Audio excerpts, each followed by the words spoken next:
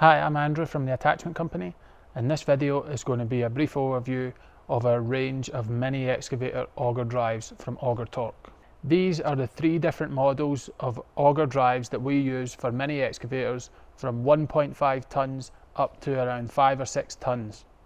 The reason that we chose these three particular models of auger drive is to suit the specs, the weights and the oil pressure and flows of machines from 1.5 up to 6 tonnes. Now we've got these sitting from smallest up to the larger model 3300. The X1100 will suit machines up to about 2.5 tonnes, the 2100 up to about 3.5, 4 tonnes, and the 3300 up to 5 or 6 tonnes. Now the, the 1100 we recommend using only up to an 18 inch auger. The 2100 you can use slightly bigger than that. The 3300 we go up to a 36 inch auger. All three of these drives have a 2 inch hex output shaft which is most common in the US. So any 2 inch hex auger, whether it's ours or someone else's, will fit on either of these auger drives. This is our single pin mount that suits all three of these drive units. The single pin is the cheapest, easiest and the fastest way to mount it on your machine, although you can only manually pin on the single pin mount. So if your machine's got a hydraulic or a mechanical quick coupler, you won't be able to use a single pin. If you manually pin on your bucket, you can just unpin your bucket, slide this pin on, pin your auger drive through and you're good to go. We keep these in stock from 25 millimeter up to 45 millimeter, which suits most mini excavators up to the 5 6 ton range. Anything bigger than that, you would require a bigger drive unit, and we'd manufacture a double pin mount to suit. Now, these are the cradles that we use for what we call a cradle mount. This can either be a double pin cradle mount for quick couplers or for just manual pin on, or it can be a quick connect for like a Kubota or a John Deere or a Bobcat Exchange, any type of uh, dedicated quick coupler system, we would use these cradles. these cradles pin the drive through here, let the, still let the drive hang uh, always vertically because it can swivel four ways. We then put a flat plate on here and then weld on whatever bucket ears, double pins, Bobcat exchange, whatever you need to go on top of this. And then when you curl out your bucket, the auger will hang straight up and down. When you curl in your bucket, this will cradle the drive for when you're moving the machine or putting it on a trailer or moving around the job site. It just stops it from hanging around. You can tuck the drive in and it's a lot safer and easier when you're traveling. Now, as you can see, there's two different size cradles and that's because the 3300 again has that larger gearbox. So that cradle's just a lot, uh, that gearbox is just a lot bigger. So in turn, the cradle's bigger, the cradle's made out of thicker plate and then the bigger drives in some of our other videos using a bigger cradle than this. Again, thicker plates, bigger gearboxes, just everything's heavier so that we can weld on the correct mount and everything to suit the machine that it's going on. That covers all three different models for mini excavators and the mounting options that are available. Now let's open up a box and see what you get inside with your drive unit. So we'll open up the box of this X2100 model. The styrofoam boxes come in two halves. In the top half, don't forget your operator's manual from Auger Torque. It has everything that you need to know about the drive unit inside. Then we can lift off the top half and most of the time the hoses will come with it, but we can show you those in a second.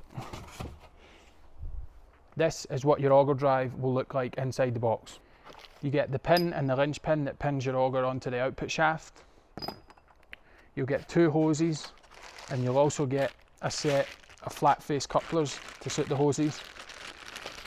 Now unless specified in particular, these will be a half inch flat face and that's going to cover most machines are going to be half inch. Some of the smaller machines on that use drives like these might need a 3 8 coupler.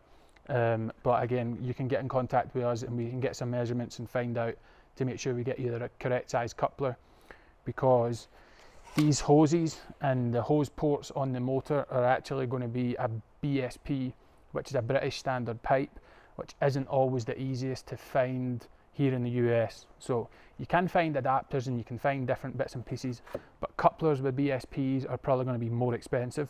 So you're better off making sure that we include the correct ones. And these are included at no extra charge on top of the unit. So The one price that you get includes all of this. And then as mentioned, you'll get two hoses, if I can get it out. Now you'll get a set of half inch hoses that suit your drive unit as well. Now these are going to come straight on one side and 90 on one side. The, the side with a 90 and the side with a union connector, I'll show you here in just a second where what side these go on. But basically your 90 side is going to go to the hydraulic motor and this is all in the operator's manual that will instruct you through how to connect your hoses up properly, make sure you get no leaks or again you can get in contact with us. But let's open up the drive unit and we'll show you where all these parts go.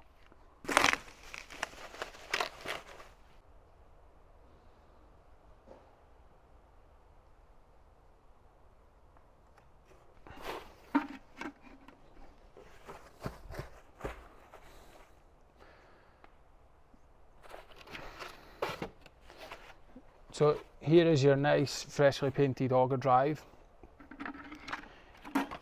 Then obviously you've got your main pin that again would pin through your single pin mount here or will pin through the linkage block here.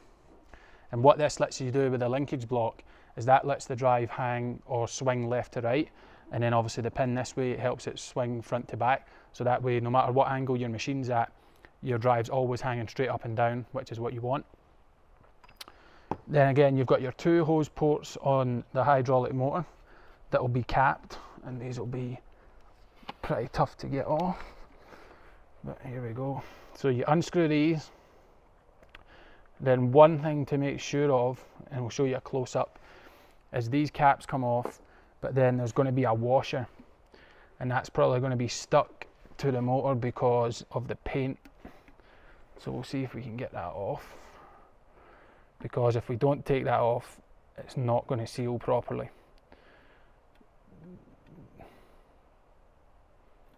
So there's that washer that comes off that always gets stuck to the inside of the, or the outside of the port. And again, why we need to take that off is you'll get a half inch male union with your hoses. Now what that does is there's one side's going to be have a washer on it, the other side's not the side with the washer is going to take the place of this, this cap and screw right in to the motor. So what we usually do is screw these on first, probably the bottom one first because it's easier. Screw these in first, get them nice and tight, and then screw your hose onto that. It Makes it a whole lot easier. So again, the washer side is going to go down on the seal against the motor, and then the BSPs, they use a cone, and that will seal up against the cone on this side of the hose. So then you would take your hose and tighten that on to the adapter here. Make sure all that's nice and tight. And then on the other side, it's just going to be a straight male with a washer that you would take these little caps out of the, the flat face couplers, screw your coupler on there, and that's more or less you ready to go.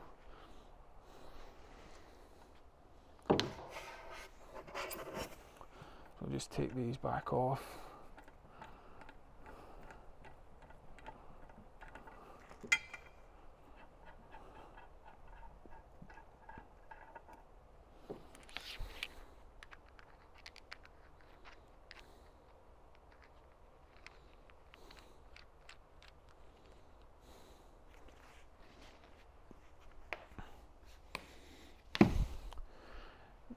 Now, other than connecting your hoses, this drive is going to be filled with gearbox oil, basically ready to go to work. Now, the manual does suggest that you run it for a few minutes each direction. So once you get everything connected, make sure there's no leaks, is set in the machine, run your hydraulics for, it recommends five to 10 minutes. So you would do that both directions. Make sure everything's all heated up, make sure there's no noises, make sure there's no leaks. That's before you stick anything in the ground. So you would do that you wouldn't put any auger on, you would just run it, you know, hanging in the air. Just make sure everything's nice. That gets all the oil running, gets everything heated up. And then then you can stick your auger on and actually, you know, drill in the ground. One thing that we do get quite a lot is if these, obviously, if these hoses are not sealed correctly, what happens is you won't see a lot, but the hydraulic oil will drip down from the motor. It maybe won't spray everywhere, so you won't see it. So it'll drip down, and what it does is it'll accumulate right down in where this can bolts on top of the gearbox. Now we'll show you a close up, but there's a little slot here in the can that, that bolts onto the gearbox, and what that's for is obviously there's rainwater and there's different stuff can get down in uh, the hood of the drive unit and that just lets it drain out basically so this doesn't all fill up with water or oil or whatever so what people what happens is some people will see some oil come out of here and they'll think the unit's no good. It's, it's leaking straight for the factory. There's gearbox oil or there's something you know it's I've, I've done everything. My hoses are tight but it's it's leaking. Again what's probably happened is that the the washer is either stuck on here and it's not sealed properly or they've put the, the union connector that we showed you on the wrong way and that's not sealed properly. But either way, 99% of the time it's not going to be an actual gearbox leak. Your gearbox is completely sealed and obviously the motor's sealed on top of that. So you shouldn't be getting any gearbox oil leaks. It's going to look like it's coming from the gearbox, but it's more than likely it's not. So that's something to keep in mind. Then also these Auger Torque uh, drive units, the gearbox oil from the factory is going to be dyed blue. So you would know if it's gearbox oil because it's going to be a different colour. Obviously your hydraulic oil is not going to be blue. So you would know if it's a hydraulic problem or if it's a gearbox problem. But other than that, obviously the drives are fairly simple. As I mentioned, we get um, all these drives have the two inch hex, two inch hex shaft that will suit more or less every two inch hex auger that's out there. So don't feel that you have to come back and get your augers from us or you know if you can find a two inch hex auger locally if you need a different size to save shipping it'll more than likely fit this no problem. Um, if you need another output shaft like a round we actually don't offer the rounds anymore in the US. What we would do is send you an adapter that would adapt from the hex uh, female or it would be a hex female to a round male and let you use any round auger bits that you've got. And obviously there's extensions that can be used with these as well. There's stump planers, log splitters, as well as just the, the auger bits that we carry.